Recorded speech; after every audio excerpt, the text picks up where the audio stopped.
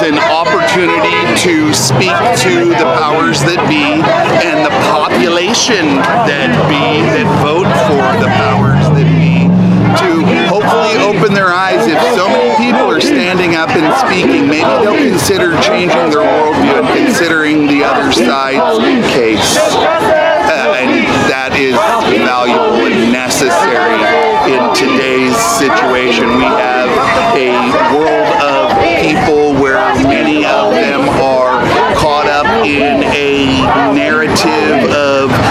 history that neglects the struggles of other people.